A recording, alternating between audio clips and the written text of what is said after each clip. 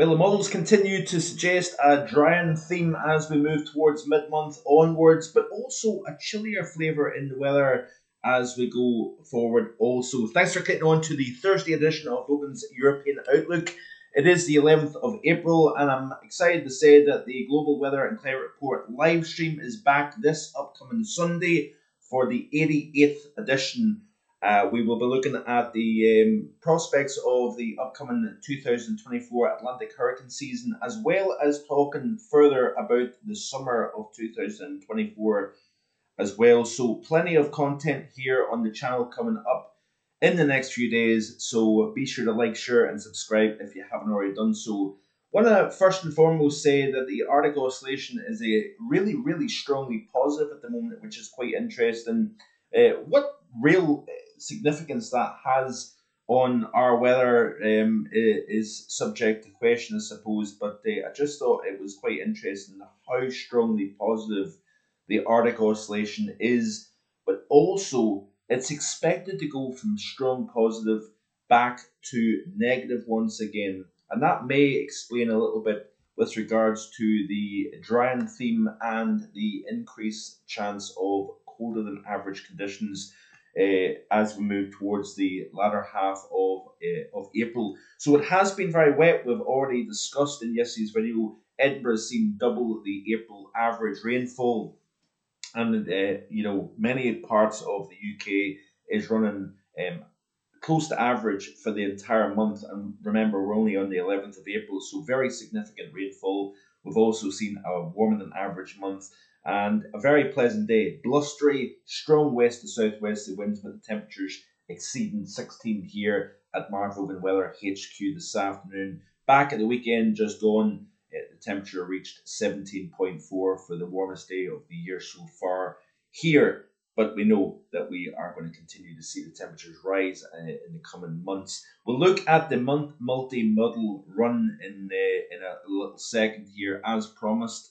It will be the first look at uh, the long range models for the upcoming summer season. So excited to bring that to you in today's video. But before we get there, um, look at, the, the GFS ensemble here. This is the upcoming seven day period. Weather than average across the northwest of the UK here, Western Scotland, Northern Ireland, parts of the Republic of Ireland, especially across western northern areas of uh, the Republic we do have slightly wetter than average conditions seen by the GFS ensemble here. But get yourself further south over Ireland, England, Wales, drier than average, down into France, down into Iberia, across the south of the continent here, give or take a little bit of wetter than average across parts of Austria, for example. But generally speaking, actually, this is a drier theme for a large swathe of Europe here. Remember also in yesterday's video, we looked at the drought monitor or the, the the equivalent to the, the European drought monitor.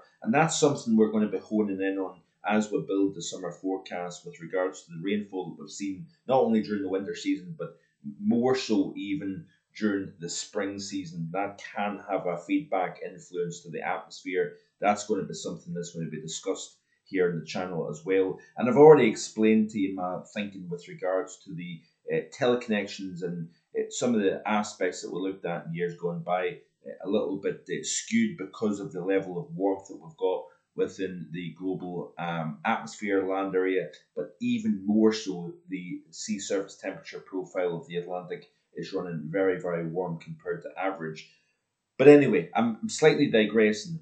As you can see here, and this has been highlighted here in the channel for a good week or so now at least, uh, the drying theme as we move towards mid and late month here. So as I play through the animation here, you can see that the UK and Ireland t- turns uh, increasingly drier than average, and this is the period 20th through the 27th of April. But interestingly enough, here, if you look at the two meter temperature anomalies for the upcoming seven day period, uh, you can see here this is the upcoming five day, warmer than average, uh, very, very warm compared to average across pretty much all of the, the continent. There's not really anywhere on mainland Europe, as well as the UK and Ireland, that is going to see below average conditions through the upcoming five day period.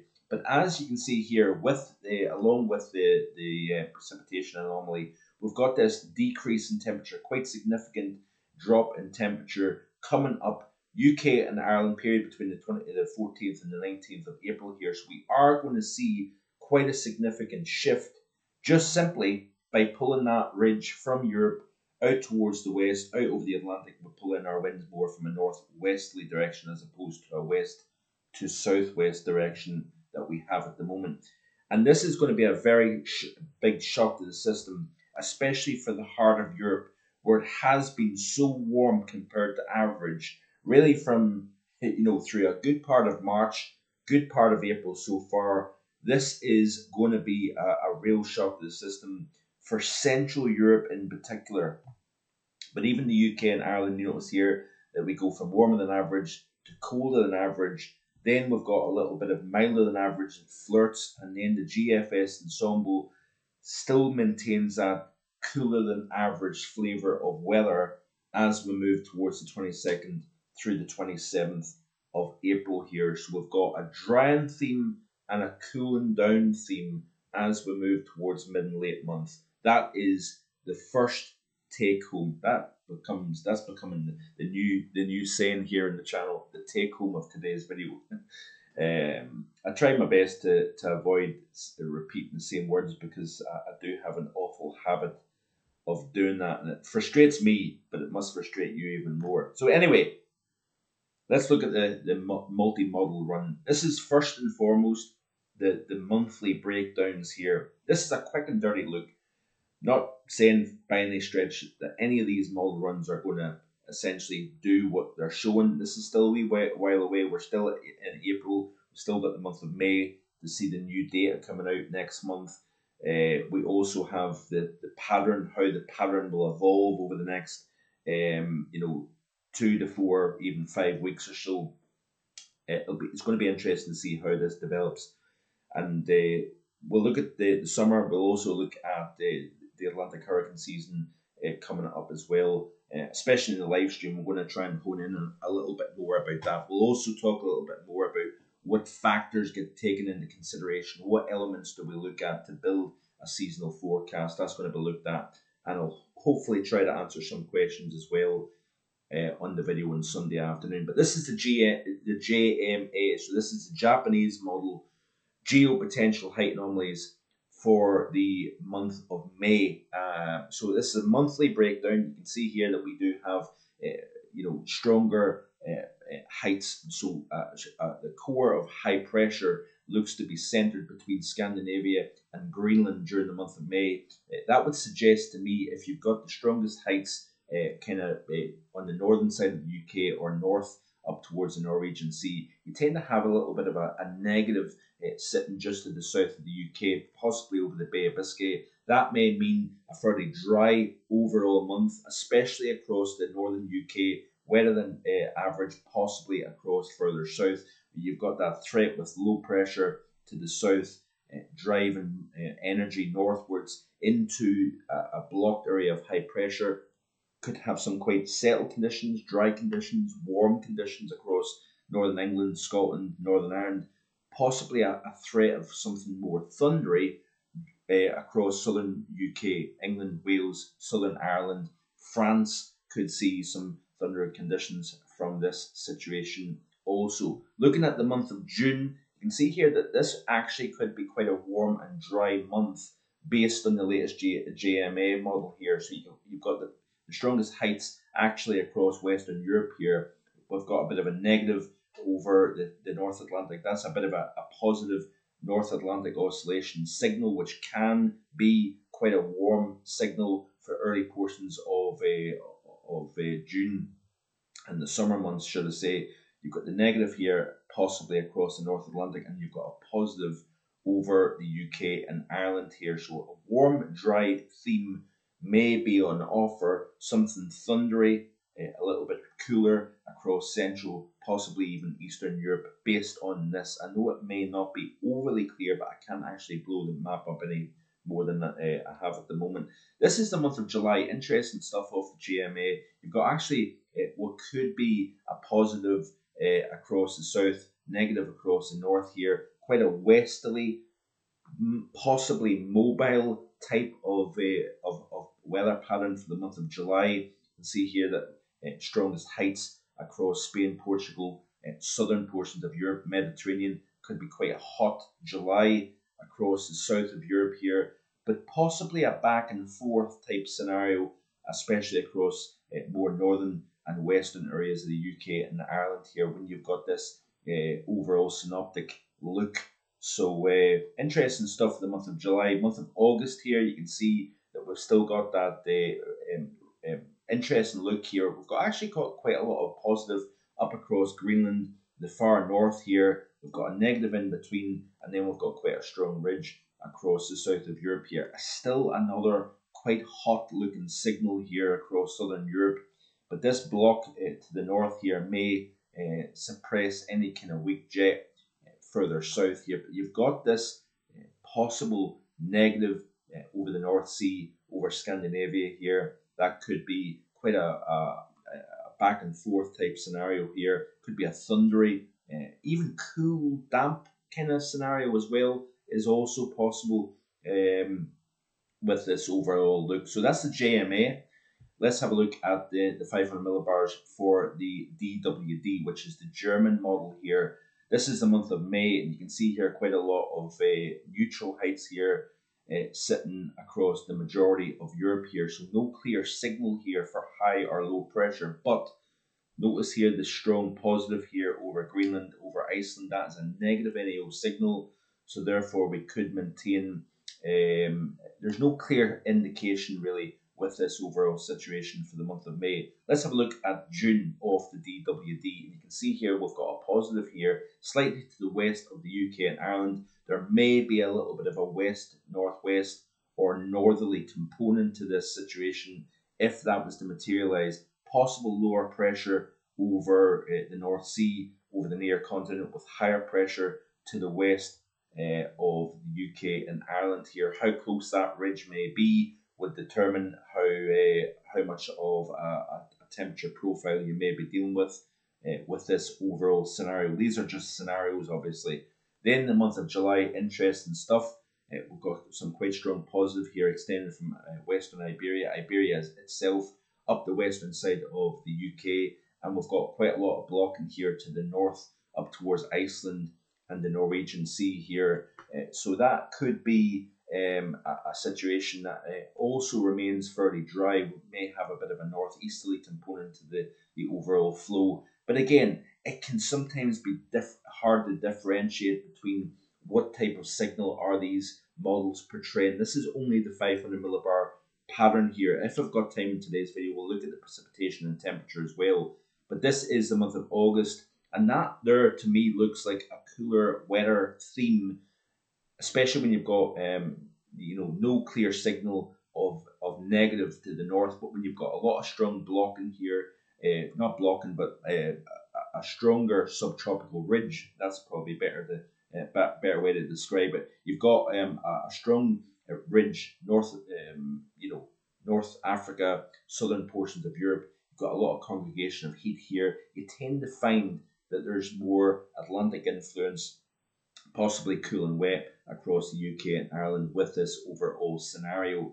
Let's move on and look at the Met Office model now, and this is for the month of May. You can see here quite a lot of blocking across uh, the north of the UK over Scandinavia, extending into the Norwegian Sea here. No real clear signal for, for a, new, a negative here, but if you've got the strongest heights just in the north of the UK, Scandinavia, towards Iceland here, and you've got this kind of um, neutral height field uh, to the southwest of the UK and Ireland here. This may mean that you've got more low pressure to the southwest, higher pressure to the northeast. That could be a warm, dry uh, theme, especially for Scotland, Northern Ireland, Northern England, possibly a threat of thunderstorms uh, to the south of the UK that may try to migrate northwards towards the southern UK. That may mean a dry north, wetter south for the UK. Moving on to the month of June, you can see here that there's quite a lot of uh, higher pressure to the west over the Atlantic here. That may mean that we've got more of a negative over the near continent, northwesterly airstream uh, affecting the UK and Ireland. If you've got the strongest heights over the Atlantic, a bit more northwesterly flow may mean um, a, a, slightly cooler flavour of weather um, in the month of June. Looking at the month of July, uh, and similar to the previous models here, we've got this kind of negative uh, over or just the north of the UK, the strongest heights, so a strong subtropical ridge to the south of the UK. Always, often, when you've got the strongest ridge over Spain, Portugal, France, you tend to find that there's more Atlantic influence over the UK and Ireland. It's the opposite. Remember early last summer, the June that we've seen hot and dry, we had more uh, thundery influence over Spain, Portugal, and France. When you've got the strongest heights compared to average across the north, you tend to find negative heights further south, and it's the opposite when you have the, the strongest heights in the south. You've got uh, usually more mobility, more Atlantic influence, more uh, unsettled conditions potentially for the, the northern half of the UK. Moving on to the month of August, and you can see here that there's quite a lot of region trying to extend and, and exert its influence uh, towards the UK and Ireland. That could be a dry and fairly hot look to the model based on this, what I'm seeing here. So this is the Met Office for the month of August here. Let's have another quick look and see if we can look at precipitation because that can also be quite an interesting one. Let's look at two meter temperature anomalies first. This is the month of uh, May, and uh, you can see here for the month of May, it is warmer than average, quite firmly above average actually for the UK and Ireland here. No real signal. It looks as if there's a lot of heat everywhere, which uh, we know there's going to be a little bit of uh, areas of cool. But th- this is the month of June, again, very, very warm, no real uh, clear indicator or signal. July and the month of August, all looking like a bit of a, a blowtorch, uh, if you want to put it that way. Let's have a look at precipitation of the Met Office model for the month of May so far, and you've actually got quite a dry look uh, going by the, uh, the, the Met Office model for May. Looking at the month of June, again, no real indicator. You could argue that it's actually slightly drier than average for the month of June. July peps up the rainfall a little bit. Remember, it had the uh, what you could argue would be a negative over the UK and Ireland. Strongest heights further south across Iberia and France. You can see here that Iberia is drier than average, wetter than average across the UK and Ireland. That would actually uh, make sense given what it's shown for the 500 millibar pattern. Looking at the month of August, remember it showed quite a lot of region, so therefore you don't see an awful lot of a, a negative or positive anomaly in terms of precipitation across much of Europe uh, never mind uh, much of the UK here. So quite interesting stuff actually. So yeah, th- this is a very quick and dirty first look at the multi-model runs with regards to June, July, August in particular, as well as the month of uh, May as well. Um, so yeah, let me know in the comment section below what you think. Doesn't really help much, if I'm being honest, these long range models at the moment. But it was just a quick glance at it anyway Going to discuss this more in the coming days. We will look at the, the near term, so the rest of this week on into the weekend in tomorrow's video. So stay tuned for that. Like, share, and subscribe. Appreciate your your your view, your subscription, uh, and I'll see you all being well tomorrow with more. Bye for now.